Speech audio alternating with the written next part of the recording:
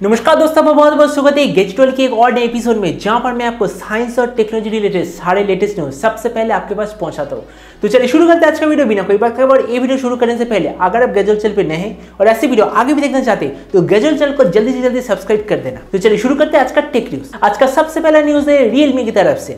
तो रियलमी ने आज इंडिया में अपने तीन प्रोडक्ट लॉन्च किया है। एक Realme C11 जो कि लॉन्च हुआ है सात हज़ार पाँच सौ रुपए पे, और जिसके साथ मैंने Redmi 8A Dual का एक कंपैरिजन किया है, इस जगह पर आप देख सकते हैं। दूसरा जो प्रोडक्ट लॉन्च किया है, वो है रियलमी का दस हज़ार एम एच थर्टी वॉट वाला पावर बैंक जो कि लॉन्च हुआ है दो हज़ार रुपए पे। और जो तीसरा प्रोडक्ट वो कुछ भी नहीं है। सभी को लगा था sir Realme Realme C launch करने वाला है, लेकिन Realme ने वो प्रोडक्ट लॉन्च ही नहीं किया। और वैसे ये जो Realme C11 लॉन्च हुआ है, वैसे तो स्मार्टफ़ोन लगभग ठीक ठाक ही है, लेकिन प्राइस मेरे ख्याल से थोड़ा सा ज़्यादा है। अगर सात हज़ार रुपए होता तो बहुत ही बढ़िया होता। तो अगला न्यूज़ भी रियलमी की तरफ़ से। जैसे कि इस पिक्चर में देख सकते रियलमी का कोई स्मार्टफ़ोन आने वाला है, जो कि होगा सिक्स थाउज़ेंड एमएच वाला स्मार्टफ़ोन अब देखिए सिक्स थाउज़ेंड एमएच वाला स्मार्टफ़ोन एक कौन सा हो सकता है? अगर मैं अपना ओपिनियन बताऊँ तो मुझे लग रहा है शायद रियलमी सेवन ये पे सेवन प्रो हो सकता है। है देखिए देखिए, अगर मैं सिक्स थाउज़ेंड एम बैटरी की बात करूँ तो मतलब स्मार्टफ़ोन का साइज़ ऑब्वियसली मोटा होगा।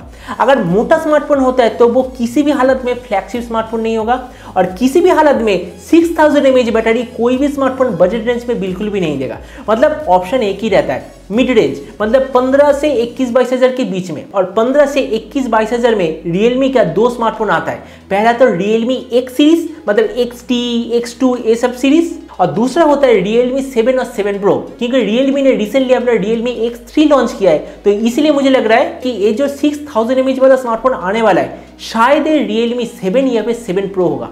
तो आप मुझे नीचे कमेंट सेक्शन में बताओ कि Realme का कौन सा स्मार्टफ़ोन 6000 एमएच वाला हो सकता है। तो कुछ दिन पहले मैंने एक वीडियो बनाया था कि Realme अपना 120 वाट वाला फास्ट चार्ज लाने वाला है। आप इस पिक्चर में देख ही सकते हैं, Realme ने फिर से उसका टीज कर दिया है कि 16 जुलाई को Realme लॉन्च करने वाला अपना next generation fast charge technology जो कि 4000 थाउज़ेंड बैटरी को एक्जैक्टली 10 मिनट के आसपास फुल चार्ज कर देगा। तो इसके बाद का न्यूज़ है जियो की तरफ़ से। इस साल जियो के मालिक मतलब मुकेश अंबानी का लक बहुत ही बढ़िया है। मुकेश अंबानी को ऑलरेडी दुनिया के बहुत सारे कंपनी की तरफ़ से एक लाख करोड़ रुपए का इन्वेस्टमेंट मिल चुका है। आप कहा जा रहे कि गूगल चार बिलियन डॉलर इन्वेस्ट करने वाला है जियो पे। मतलब देख ही सकते हैं कि मेरे ख्याल से अभी इंडिया का नंबर वन और सबसे ताकतवर कंपनी है जियो मतलब रिलायंस तो टिकटॉक तो इंडिया पे बैन हो चुका है। तो रिसेंटली एक नया मेलवार मार्केट में फैल चुका है, जिसका नाम है टिकटॉक प्रो नाम का ऐप जो कि एक तरह का मेलवर है। ये मेलवर जनरली आपके पास आएगा व्हाट्सएप के थ्रू अगर आपके पास कोई ऐसा व्हाट्सएप मैसेज आता है जिसमें लिखा है कि टिकटॉक का अपडेटेड वर्जन टिकटॉक प्रो आप इंस्टॉल करो तो वह बिल्कुल भी इंस्टॉल मत कीजिए। ठीक है, जैसे ही आप उसे इंस्टॉल करेंगे इंस्टॉल करने के बाद आपके पास से ये ऐप टोटल चार इंफॉर्मेशन मांगेगा। पहला कॉन्टैक्ट दूसरा एसएमएस तीसरा कैमरा और चार माइक्रोफोन, जो कि इस ऐप को बिल्कुल भी नहीं चाहिए। और जैसे ही आप उसमें ओके कर देंगे, बस 100 परसेंट आपका फ़ोन हैक हो जाएगा और आपका सारा इंफॉर्मेशन दूसरे सर्वर में चला जाएगा। इसलिए अगर आपके पास कोई ऐसा मैसेज आता है स्पेशली व्हाट्सएप के थ्रू जहाँ पर लिखा है कि आप टिकटॉक प्रो नाम की इस ऐप को इंस्टॉल करो, उसे इंस्टॉल मत कीजिए, क्योंकि ऑफिशियल इंफॉर्मेशन है कि टिकटॉक प्रो नाम का कोई भी ऐप मार्केट में अवेलेबल नहीं है। तो अगला न्यूज़ है लिनोवो की तरफ़ से। लिनोवो का सबसे पहला गेमिंग स्मार्टफ़ोन जो कि होगा लिनोवो लिजियन सीरीज़ का गेमिंग स्मार्टफ़ोन वो तो आने वाला है ट्वेंटी सेकेंड जुलाई को। आप कहा जा रहे कि लिनोवो का इस साल दो वेरिएंट लॉन्च होगा, एक लिनोवो नॉर्मल वाला गेमिंग स्मार्टफ़ोन और एक लिनोवो प्रो सीरीज़ का गेमिंग स्मार्टफ़ोन वैसे इसके ऊपर एक डिटेल वीडियो में एक दो दिन में ज़रूर बनाऊँगा, लेकिन मैं आपको एक चीज़ कह सकता हूँ, अगर दुनिया का सबसे पावरफुल कोई परफॉर्मेंस वाला स्मार्टफ़ोन हो सकता है तो वो यही स्मार्टफ़ोन होगा।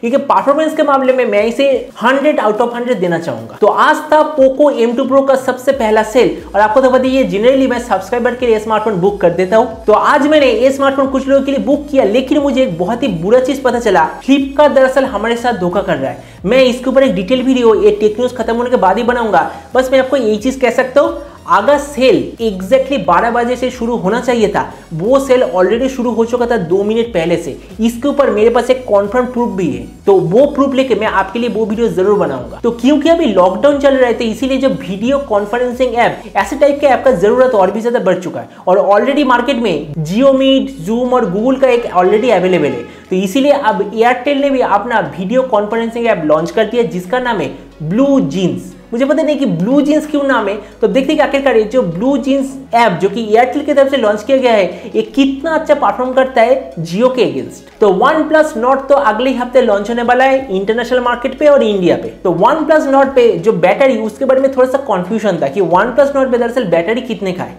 कुछ लोगों का कहना है फोर थाउज़ेंड एमएच कुछ लोगों का कहना है फाइव थाउज़ेंड एमएच और कुछ लोगों का कहना है 4500 एमएच लेकिन अब एकदम कॉन्फर्म इन्फॉर्मेशन मिल चुका है, इस स्मार्टफ़ोन का बैटरी है 4115 mAh और इसके साथ हमें 30 वर्ट का फास्ट चार्ज भी मिलता है। तो इसके बाद के कुछ न्यूज़ है सैमसंग की तरफ़ से।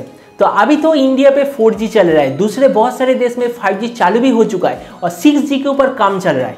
सैमसंग की तरफ़ से ऑफिशियल कहना है पूरे दुनिया पे 2028 साल में 6G टेक्नोलॉजी कॉमर्शियली अवेलेबल होगा। आप देखिए, ये तो सीधी बात है। अगर पूरे दुनिया पे 6G टेक्नोलॉजी कॉमर्शियली अवेलेबल होगा और वो भी सबसे पहले यूएसए पे होगा और यूएसए के जनरली दो साल बाद वो इंडिया में आता है मतलब 2030 साल से पहले इंडिया में 6G टेक्नोलॉजी बिल्कुल भी नहीं आएगा। और जैसे कि आप इस पिक्चर में देख सकते यही दरअसल है अपकमिंग गैलेक्सी Z Fold 2 और इस बार इसमें पीछे टोटल तीन कैमरा होगा तीन कैमरे में से एक कैमरा होगा 64 मेगापिक्सल और 10 मेगापिक्सल का फ्रंट कैमरा होगा। और आज का फाइनल न्यूज़। तो इंसान अब मार्स में जो लोग या फिर जो एलियंस रहते हैं, अब उन्हें भी परेशान करेगा। क्योंकि अगले हफ़्ते यूएसए, चाइना और यूनाइटेड अरब एमिरेट्स, ये तीन देश अपने अनमैन स्पेसशिप मार्स पे भेजने वाला है। मार्स में जाके उधर के समुद्र, लाभा, ज़मीन मतलब जो कुछ भी है, सब पर बहुत सारे टेस्ट करेगा। मतलब हम कह सकते हैं कि मार्स के लोग अब इसके वजह से बहुत ही ज़्यादा परेशान में आने वाले हैं। तो आज का टेक्नोलॉजी यही था। उम्मीद है आज का वीडियो को पसंद आया होगा, इस वीडियो के बारे में आपका जो भी विचार है, नीचे कमेंट में लिखना, बिल्कुल मत भूलिएगा।